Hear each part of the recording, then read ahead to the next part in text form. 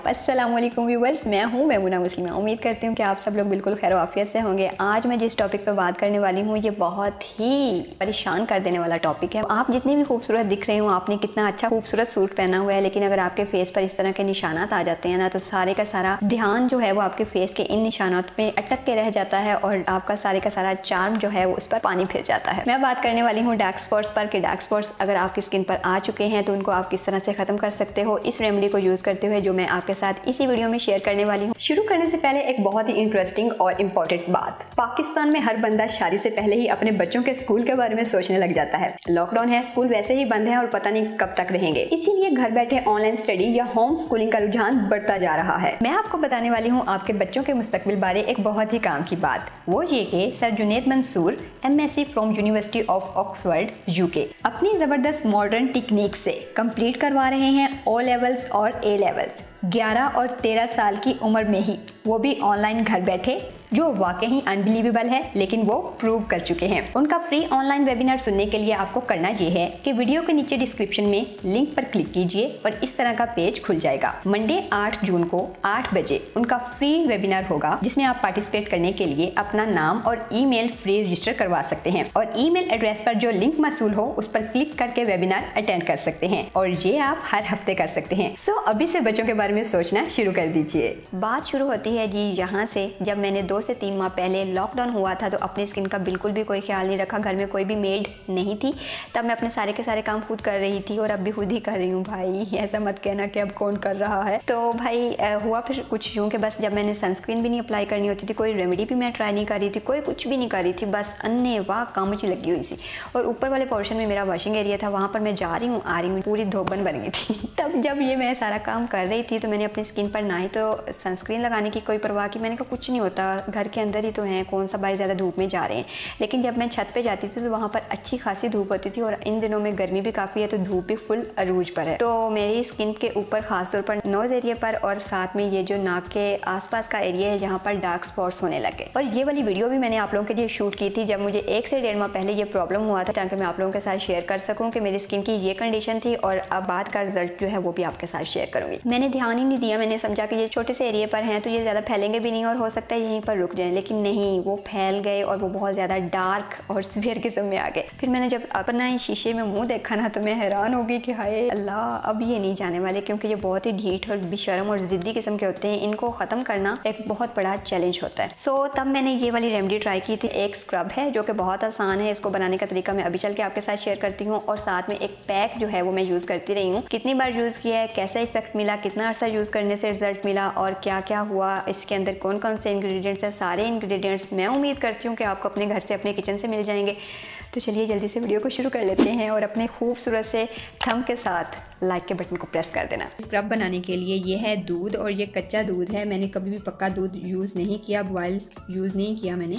आ, दो चम्मच मैं दूध लेती थी खाली कटोरी के अंदर। फिर इसके बाद जो दूसरा इंग्रेडिएंट इसके अंदर ऐड करती थी वो है नमक। नमक वो वाला नमक है जो कि हम आम खानों में इस्तेमाल करते हैं। आधा चम्मच। लेकिन यहाँ पर ये बात आप लोगों ने याद रखनी है कि अगर आपकी स्किन पर किसी किस्म का कोई कट लगा हुआ है, तब आप बिल्कुल भी ये नमक वाला स्क्रब यूज़ नहीं करेंगे। ठीक हो गया? हाँ अगर आपकी स्किन नॉर्मल है, कोई प्रॉब्लम नहीं है, फिर एक से डेढ़ मिनट तक सिर्फ़ अपनी स्किन पर अप्लाई करना है, जिस तरह से मैं वीडियो में कर रही हूँ, बिल्कुल इसी तरीके से। आप लोग नोट कर लीजिए, मैंने एक कॉटन ली है, कॉटन के साथ इसको लगाया है और उसके बाद अपने नाक वाले हिस्से पर और जहाँ जहाँ पर मुझे डार्क स्पॉट्स का इशू है, वहाँ पर मैंने इसको मिक्स करके अप्लाई कर लिया। तो आप लोग भी इसी तरह से अप्लाई कर सकते हो और फिर इसको आपने सादा पानी के साथ वॉश कर देना है। लगाने के 10 मिनट बाद जब इसका ये वाला दूध जो है स्क्रब का वो ड्राई हो जाएगा आपकी स्किन के ऊपर तो फिर पता क्या करना है? जब आप इसे धोएँगे तो आपकी स्किन इतनी सॉफ्ट हो चुकी होगी, इतनी सॉफ्ट कि आपको लगेगा ही नहीं कि मैंने नमक वाला स्क्रब यूज़ किया है। बहुत ही बहुत ही ज़्यादा सॉफ्ट और प्लम्प फील होगी। जैसे कि मैं अब धोकर यहाँ पर आई हूँ तो मुझे फील हो रहा है कि मेरी स्किन कितनी सॉफ्ट और बच्चों जैसी वो नहीं नरम नरम सी स्किन होती वो वाली हो गई है। अब मैं अप्लाई करूँगी पैक अगर आप ये वाला स्क्रब यूज़ ना करना चाहें, फिर आप क्या करोगे? आप चावल लोगे, चावल का आटा जो है वो बना लोगे घर पर और वो भी दरदरा सा बन जाएगा। उसके अंदर आपने कच्चा दूध यूज़ करना है, डाल देना है और उसको स्क्रब के तौर पर आपने अपने स्किन पर अप्लाई कर लेना है। वो भी बहुत ही अमेजिंग रिज़ल्ट देता है और ये भी बहुत अच्छे रिज़ल्ट देता है नमक का स्क्रब वीक में सिर्फ़ दो बार यूज़ करेंगे, बच्चों की स्किन पर यूज़ नहीं करेंगे कट वाली स्किन पर यूज़ नहीं करेंगे। अल्टरनेट मैंने चावलों का स्क्रब आपको बता दिया है। पूरे स्किन पर भी अप्लाई करने की इससे ज़रूरत नहीं है, सिर्फ़ उसी एरिया पर अप्लाई कीजिए, जहाँ पर आपको dark spots dark patches pigmentation freckles melasma discoloration या जो भी प्रॉब्लम है, वहीं पर अप्लाई कीजिए। ठीक हो गया? पैक तैयार करने के लिए आपको चाहिए एक खाली बाउल और इसके अंदर हम सबसे पहला जो इंग्रेडिएंट है, वो डालने वाले हैं बेसन। बेसन मैं यहाँ पर यूज़ कर रही हूँ तकरीबन दो चम्मच और ये वाला जो पैक है, ये आप अपनी पूरी बॉडी पर भी अप्लाई कर सकते हो। जहाँ पर भी आपको ब्लैक या ब्राउन किस्म के मॉल्स हो गए हैं, वहाँ पर भी अप्लाई कर सकते हो। इसके अलावा pigmentation freckles melasma discoloration dark spots dark patches जो भी उन सब पर ये वाला पैक यूज़ किया जा सकता है बिना डरे, बिना झिझके, ठीक है? तो दो चम्मच मैं यहाँ पर बेसन यूज़ करूँगी। अगर गर्मी का सीज़न है तो हम यहाँ पर बेसन यूज़ करेंगे। अगर सर्दी के सीज़न में ये पैक मैं तैयार करती तो फिर मैं इसमें गंदम का आटा यूज़ कर, ठीक हो गया? हमारा दूसरा इन्ग्रीडियंट जो यहाँ पर मैं यूज़ करने वाली हूँ वो है हल्दी, जो कि मैं यहाँ पर यूज़ करूँगी सिर्फ़ एक चुटकी, इतनी ही इनफ है। अगर इससे ज़्यादा करोगे तो ये आपके स्किन पर कलर छोड़ देगी और फिर आप येलो येलो नज़र आओगे। हमारा तीसरा इंग्रेडिएंट है दही। दही हम जो घर में यूज़ करते हैं, वो वाला दही आप यूज़ कर सकते हो। अगर इसमें थोड़ा सा पानी हो, तब भी यूज़ किया जा सकता है। पेस्ट बन जाएगा अच्छे तरीके से। ये दो चम्मच ही है और मैंने सारे का सारा इसके अंदर ऐड कर दिया है। दही जो है वो सबको सूट कर जाती है, लेकिन कुछ लोग फिर भी ऐसे होते हैं जिनको दही सूट नहीं करती। तो वो दही की जगह ग्लिसरीन यूज़ करेंगे तकरीबन एक से डेढ़ चम्मच। ठीक हो गया? उन लोगों को समझ आ गई होगी। कमेंट्स आ रहे थे, वहाँ पर मेरी कुछ बहनें पूछ रही थी कि आप ही हमें दही सूट नहीं करती तो इसका अल्टरनेट बता दीजिए तो आप ग्लिसरीन यूज़ कर सकते हो। ये भी बहुत अच्छे से ब्राइटन अप करने के लिए और उसके ऊपर शाइन लाने के लिए और डीपली पेनिट्रेट होती है ये भी स्किन के अंदर तो आप ये यूज़ कर सकते हो। हमारा जो फोर्थ इंग्रेडिएंट है, वो है लेमन क्योंकि मैं यहाँ पर सिर्फ़ तीन से चार ड्रॉप्स ही यूज़ करूँगी। मेरी अपनी स्किन सेंसिटिव है तो ज़्यादा लेमन यूज़ करने से मुझे खुद इरिटेशन होती है, क्योंकि ये डार्क स्पॉट्स को या डीट किस्म के फ्रैकल्स को ख़त्म करने के लिए काम करता है, एक कुदरती ब्लीचिंग एजेंट होता है तो इसलिए मैं यहाँ पर यूज़ कर रही हूँ, क्योंकि जितने भी किस्म के डार्क स्पॉट्स या डार्क स्पैचेस हमारी स्किन पर आते हैं, वो आसानी से नहीं रिमूव होते, बहुत ही ढीट और बेशरम किस्म के होते हैं तो उनको रिमूव करने के लिए ये थोड़ा सा हमें हेल्प आउट करेगा। इसके बाद हमारा जो नेक्स्ट इंग्रेडिएंट इसमें ऐड होने वाला है, वो है जनाब रोज़ वाटर और ये लास्ट इंग्रेडिएंट है। मतलब इसके बाद हमने कोई भी चीज़ इसके अंदर पैक में ऐड नहीं करनी। ये आप एक से डेढ़ चम्मच यूज़ कर सकते हो और अगर एक से डेढ़ चम्मच यूज़ करने से आपको लगता है कि इसकी कंसिस्टेंसी थोड़ी सी ज़्यादा रनी हो जाएगी तो फिर आप इसको थोड़ा सा अपने हिसाब से हसब ज़रूरत यूज़ कर सकते हो। अच्छा जी, यहाँ पर ये सारी चीज़ें ऐड करने के बाद इन सारे इंग्रेडिएंट्स को अच्छी तरह से आपने मिक्स कर लेना है। और फिर मैं इसको अप्लाई करके दिखाती हूँ कि ये अप्लाई एप्लीकेशन इसकी बहुत ही मज़े की, इसकी कंसिस्टेंसी बहुत ही खूबसूरत बन जाती है और ये आराम से आपके स्किन पर स्टे भी करता है। ये तमाम स्किन टाइप वाले इसे यूज़ कर सकते हैं, वो भी कोई डरने की बात नहीं है। ऑयली स्किन है ड्राई स्किन है नॉर्मल स्किन है सेंसिटिव स्किन है, सब इसे आराम से यूज़ कर सकते हो। और जो जो चीज़ें इसमें चेंज हो सकती थी, वो भी मैंने आपको बता दी। और यहाँ पर इस पैक की तैयारी में अगर किसी को चिकन पॉक्स का कोई प्रॉब्लम हो चुका हो कभी ज़िंदगी में तो वो क्या कर सकता है? वो इसी पैक के इन्हीं इंग्रेडिएंट्स के साथ सिर्फ़ एक इंग्रेडिएंट और ऐड करेगा तो वो अपने चिकन पॉक्स के लिए इस रेमेडी को यूज़ कर सकता है। उसके चिकन पॉक्स के जो स्कार्स होते हैं, उसको रिमूव करने के लिए ये रेमेडी बहुत ही यूज़फुल इफ़ेक्टिव हो जाएगी।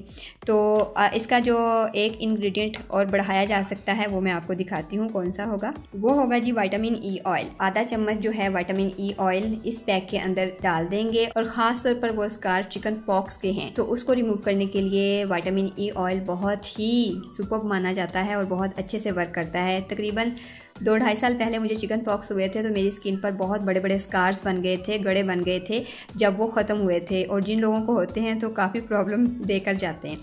तो फिर जनाब, मैं क्या करती थी, मैं यही वाला पैक यूज़ करती थी, तब मुझे फ्रैकल्स का मतलब या डार्क स्पॉट्स का इशू नहीं था, सिर्फ़ स्कार्स हो गए थे। तो रात को सोने से पहले मैं ऐसे यूज़ करती थी। इसके जो कैप्सूल मिलते हैं एवियन के, आप वो भी यूज़ कर सकते हो, अगर आपके पास ये वाला ऑयल ना हो तो। क्योंकि मुझसे पूछा जाएगा, इसलिए मैं आपको बता रही हूँ। तो आप उस, इसकी जगह, इस ऑयल की जगह इवियन के कैप्सूल भी यूज़ कर सकते हो। अगर आपके पास ये ऑयल हो तो इसे यूज़ किया जा सकता है। रात को सोते वक्त आप इसे अप्लाई करके सो जाएँ। डेली बेसिस पे लगाना होगा, जहाँ जहाँ पर स्कार्स होंगे, उन्हीं के ऊपर अप्लाई कीजिए और सो जाइए। और सुबह उठकर अपने फेस वॉश के साथ इसे धो दीजिए, क्योंकि ये काफ़ी थिक होता है। अब जनाब, मैंने इसको अप्लाई करके दिखाना है। इसको अप्लाई करके कितनी देर तक रखना है, वो भी ज़रा सुन लीजिए। बीस से पच्चीस मिनट तक आपने इसे अपनी स्किन के ऊपर रखना है, जब ये फुल ड्राई हो जाए। फुल ड्राई जब ये हो जाएगा सादा पानी लेना है, उसके साथ अपने मुँह के ऊपर छिटा मार के उसको गीला कर लेना है और फिर उसको हल्के हाथों से स्क्रब करते हुए सर्कुलर मोशन में इसको आपने रिमूव करना है। और फिर सादा पानी के साथ वॉश कर लीजिए। दिन हो या रात हो, जब भी आप फ्री हों, इसे अप्लाई कर सकते हो। चलते फिरते घर में कोई काम करते हुए भी इसे अप्लाई किया जा सकता है। वो नहीं है कि मतलब आप 20-25 मिनट के लिए बाउंड होकर एक ही जगह पर बैठ जाएँ, ऐसा ना हो। फिर कहें कि आप ही मैं मुन्ना का बताया हुआ पैक यूज़ किया। है ये थी आज की रेमेडी आई होप कि आपको अच्छी लगी हो। अगर अच्छी लगी हो तो इसे लाइक कर दीजिएगा। मेरा गला सूख गया। अच्छा जी, ये थी आज की रेमेडी आई होप कि आपको अच्छी लगी हो और साथ में कुछ टिप्स लेते चाहिए वो ये हैं कि धूप में मत जाया कीजिए ज़्यादा। धूप में अगर जाते हैं तो भाई हमने क्या करना है, अपनी स्किन पर, अपनी बॉडी पर थोड़ा सा सनस्क्रीन लगाइए। फिर अगर आप चलते फिरते धूप में बैठना चाहें तो बैठ सकते हैं। और वो भी धूप में बैठने का टाइम जो है, वो सुबह छः से लेकर आठ बजे तक और शाम को साढ़े चार से लेकर साढ़े छः बजे तक है। उस वक्त धूप जो होती है, वो थोड़ी सी हल्की हो जाती है, इतनी ज़्यादा सख्त किस्म की नहीं होती, तब आप धूप में बैठ सकते हो पाँच सात मिनट के लिए चलते फिरते कोई काम करने के लिए, के बहाने। लेकिन अपने स्किन पर, अपने एक्सपोज एरिया पर, जो कि नज़र आते हैं मीन्स के हाथ, पाँव और फेस वहाँ पर सनस्क्रीन ज़रूर यूज़ कीजिए वरना फिर मेरे जैसा हाल हो जाएगा और फिर आप मारे मारे फिरेंगे। रेमेडी आपने देख ली कि किस तरह से बनी है। आई होप कि ये आपके दिल को लगी होगी, क्योंकि सारे के सारे इंग्रेडिएंट्स आपको अपने घर से और किचन से मिल जाने हैं। और अब बात कर लेते हैं कि इसे कौन कौन यूज़ कर सकते हैं। तो इसे तमाम उम्र के लोग यूज़ कर सकते हैं। इसको हर स्किन टाइप वाले लोग यूज़ कर सकते हैं, क्योंकि इसमें कोई भी ऐसी चीज़ नहीं है जो कि किसी की स्किन पर किसी किस्म का रिएक्शन करे। नंबर दो पर आ जाता है कि वीक में इसे कितनी बार यूज़ किया जा सकता है। तो वीक में इसे मैं जो हूँ पर्सनली तीन बार यूज़ करती रही हूँ। अगर आप इसे डेली बेसिस पर भी यूज़ करना चाहें तो कर सकते हैं, क्योंकि इसका कोई साइड इफ़ेक्ट नहीं है। ठीक है? और नंबर थ्री पर आ जाती है कि, जनाब, इसको कितनी एज के लोग यूज़ कर सकते हैं? इसको सबसे पहले तो मेरी बहनें और भाई सब यूज़ कर सकते हैं और 10 साल से बड़े बच्चों को आप यूज़ करवा सकते हैं। इससे कम बच्चों को यूज़ ना करवाया कीजिए ऐसी चीज़ें, क्योंकि हो सकता है उनकी स्किन का आपको पता नहीं होता तो कोई चीज़ उनके स्किन पर काफ़ी सारी चीज़ें इसके अंदर इंक्लूड की हुई हैं तो उनकी स्किन पर किसी किस्म का कोई रिएक्शन ना हो जाए। नंबर फोर्थ पर आ जाता है कि रिज़ल्ट कब तक मिल जाएँगे भाई? तो ये आप लोगों ने बहुत पूछने हैं मुझसे। मैं आप लोगों को बता दूँ तसली के साथ, सब्र के साथ तहमुल के साथ आपने ये वाली रेमेडी यूज़ करनी है। आपको रिज़ल्ट जो है वो तकरीबन एक माह ज़रूर लगेगा रिज़ल्ट मिलने में, फिर जाकर आपको रिज़ल्ट मिलेगा। नंबर फिफ्थ पर आ जाता है कि क्या स्क्रब डेली बेसिस पर करना है या स्क्रब भी हम वीक में कितनी बार कर सकते हैं? तो स्क्रब सिर्फ़ आप वीक में दो बार कर सकते हैं। पैक आप डेली भी यूज़ कर सकते हैं। अगर आप डेली यूज़ नहीं करना चाहते, आपके पास टाइम की कमी है तो फिर आप इसे वीक में तीन बार तो ज़रूर ट्राई कीजिए। ठीक है? आई होप कि ये सारी चीज़ें आपके लिए क्लियर हो चुकी होंगी और वीडियो भी आपको पसंद आई होगी और इसका फ़ायदा भी इन ताला आपको ज़रूर मिल जाएगा। और ये वाली मेरी वीडियो देख लीजिए कि यूज़ करने के बाद बिफ़ोर आफ्टर के रिज़ल्ट जो हैं वो आप लोगों के सामने हैं कि पहले क्या हालात थे, क्या हालात मैंने बना दिए थे अपनी स्किन के और अब मैंने ये ट्राई करने के बाद अपनी स्किन को दोबारा रिकवर किया है इतना, ठीक है? तो कोई जादू नहीं होती रेमेडीज़ वगैरह, इसलिए तसली के साथ उन्हें यूज़ किया कीजिए ताकि आपको रिज़ल्ट अच्छे मिले, लेकिन इनके रिज़ल्ट देर पा होते हैं, ठीक है? और बिना साइड इफ़ेक्ट होते हैं। So O levels dot com पर जाकर सर जुनेर मंसूर के फ्री वेबिनार को अटेंड करने के लिए रजिस्टर करना बिल्कुल भी मत भूलिए। अपना बहुत सा ख्याल रखिए। मिलते हैं नेक्स्ट वीडियो में, तब तक के लिए अल्लाह हाफिज़।